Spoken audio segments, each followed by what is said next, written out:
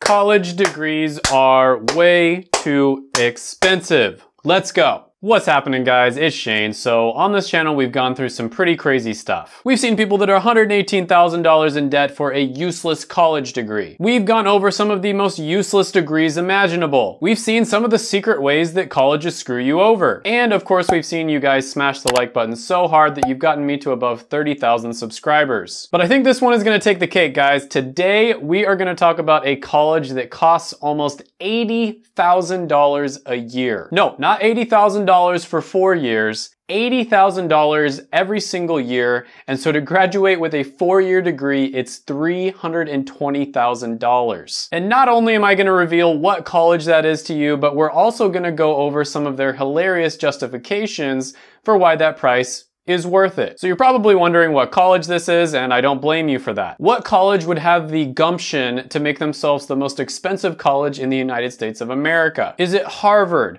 Is it Princeton? Is it Stanford? No, no, and no. The school in question is actually going to be Harvey Mudd College in Claremont, California. Now, if you're aware of this school, you probably know that it has a huge emphasis on STEM degrees and its graduates are known to earn a lot of money. It's a small school of just under 900 students and it is the most expensive college in the United States of America. In fact, I do believe it is the most expensive college in the entire world, all things being equal. So for this last school year, 2019-2020, the entire cost of attendance was, wait for it, $79,539 a year. That's like a Range Rover. You could buy a Range Rover for that amount of money. That's like a down payment on a really nice house. Now, you might be wondering how they break this down. So it's just above $58,000 for tuition, around $10,000 for room, $8,445 for meals, $1,400 or so for personal expenses, $800 for books and supplies, and $300 to cover the student body fee. Now, you might be wondering to yourself, how can Harvey Mudd justify this insane price price tag? Well, PayScale, which is one of my favorite sites to do research on, by the way, surveyed around 2,500 Harvey Mudd graduates, and what they found was pretty interesting. Graduates reported earning $88,800 a year in their first five years after graduating, which is really good. They also reported earning over $158,000 a year mid-career pay, which is 10 years after graduating and on. That's pretty good considering the average college graduate earns around $48,400 a year in their first five years after graduating. Now, another reason that you see the these ridiculously high salaries is the fact that about 85% of the students that go to this school graduate with a STEM degree. So this school is really smart because they basically just focused on the degrees that are gonna end up earning their students the most money. And I always talk about how you should keep money in mind when it comes to choosing your degree. It's not the most important thing, it's not the only thing, but it is a very important aspect of it. You don't wanna just go for any STEM degree out there. There are some that are a lot better than others. Now on top of this, I think another reason why Harvey Mudd graduates earn so much money is because of the fact they live live in a state where there's a very high cost of living. People in California tend to earn a lot of money and it's said that if you earn $100,000 in San Francisco, you're actually poor. So a six-figure salary is good most places in the United States, but in San Francisco or other really expensive cities in California,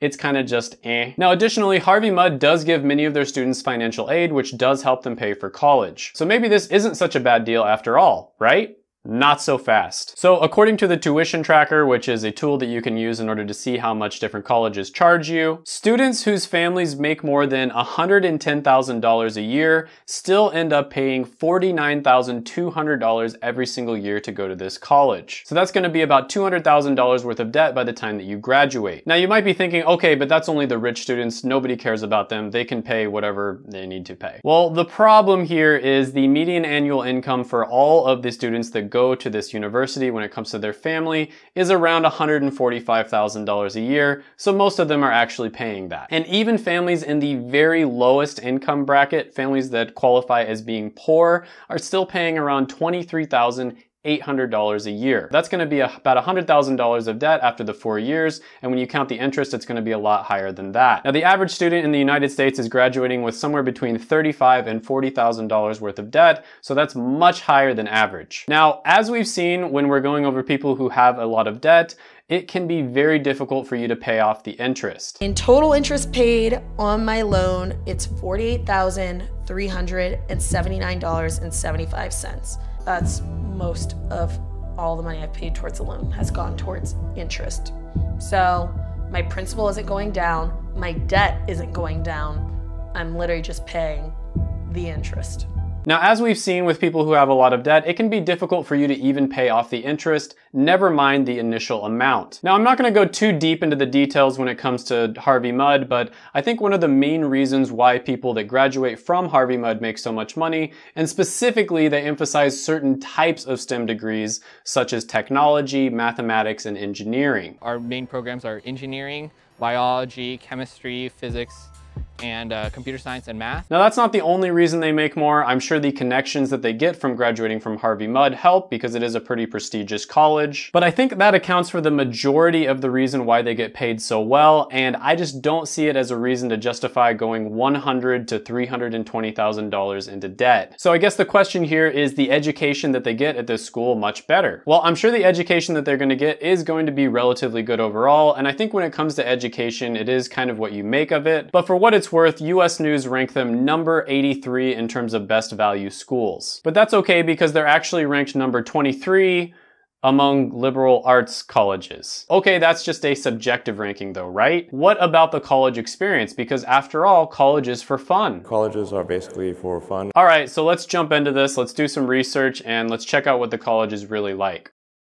Hi, I'm Varun Singh. I'm a freshman at Harvey Mudd College.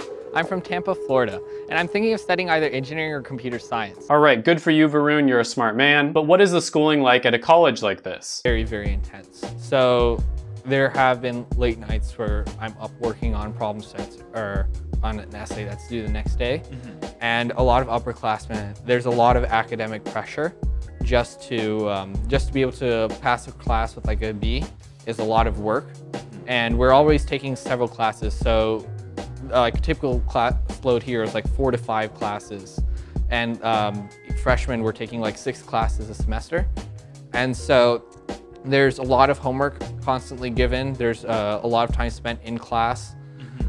And there's huge pressure just to be able to get through all the academic work that's assigned. Okay, so as you guys can see, this guy is a really smart dude, but he honestly does look like he's a little bit dead inside. Trust me, um, I've, I've been there before. They're obviously working him really hard at this college. You can tell just by the way he's talking. And that's not necessarily a bad thing. I think you should be challenged. But what about the college experience? What is this guy doing for fun? I mean, most engineers know this, but let's be real here. There's not that many girls in engineering classes. Not saying that there shouldn't be. There probably should be more. Same with computer science and a bunch of the other technology related degrees. So I'm curious to see what this guy does for fun when he's not studying. Um, tell me a little bit about it. Who's it made up of? What do you guys play? So I'm part of the Claremont Concert Orchestra. So it's not just Harvey Mudd. It's going to be Harvey Mudd, Scripps, uh, Claremont McKenna, mm -hmm. and uh, Pitzer. So we're we all have this thing called joint music program. Okay, okay, now I see. So it wasn't clear here, but my man Varun just explained something really important. So he's basically doing orchestra with a joint school. So Harvey Mudd is basically just the STEM college and there's sister schools that are non-STEM. I'm guessing there's like maybe a music school and like a fine arts school and all that sort of thing. So I think you see what I'm getting at here. My dude Varun is surrounded by a bunch of other dudes. So what did he do? He put himself in a position to succeed. Smart man. He's clearly clearly a big brain individual. He's a man of focus, commitment, and sheer Anyways, all joking aside, Varun is clearly a really talented kid and maybe he could make a good YouTuber someday because he's obviously mastered the art of begging for likes. If you like this video and you want to learn more about top colleges, like and subscribe down below. So what can we learn from this whole situation? Well, I've talked about this a lot on the channel, but when it comes to going to an elite, really expensive school like maybe Stanford or Princeton or Harvard, it can be worth it in very specific situations. So for instance, if you are a business major and you somehow manage to get into the Wharton School of Business, you should probably take that just because Wharton is the number one business school in the entire world. And that's just gonna open a lot of doors for you and it's just a good opportunity overall. Even though it's probably ridiculously expensive, expensive, it will likely lead to you just having a lot of opportunities down the line. But depending on which major it is and a bunch of other factors, I would say that almost all people, the majority of people, would be better off just going to a community college for the first two years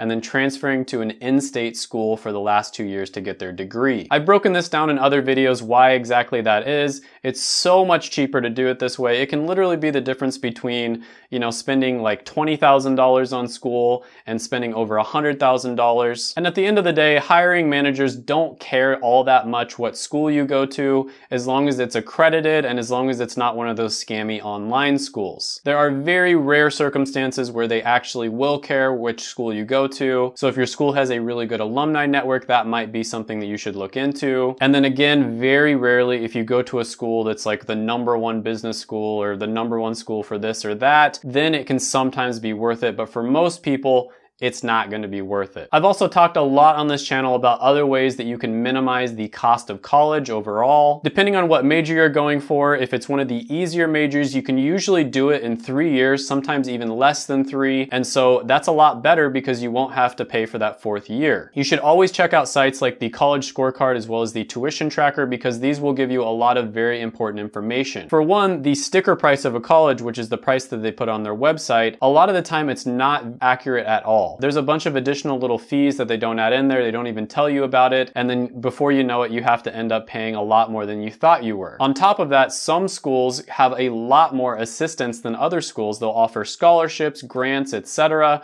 that will help you out tremendously. So it's a really good idea to check out the college scorecard as well as the tuition tracker because these things will help you figure out which schools are actually a good value and which ones aren't. Check out my videos right here. I made them just for you. Go ahead, smash the like button, hit the subscribe button, ring the little notification bell, and then comment down below any ideas, thoughts, comments, etc. that you have on this video.